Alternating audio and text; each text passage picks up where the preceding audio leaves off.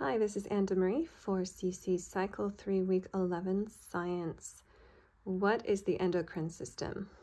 And I, for this particular week, could not fit the question in with the memory passage. So I would just suggest you just state the question and then we jump into the song. Uh, just because there's so much material to put into a song that it was a little bit more challenging. So um, that's just how I'm going to go about doing it this week. The song that I am using is called uh, Oompa Loompa from the movie Charlie and the Chocolate Factory. Here we go. What is the endocrine system?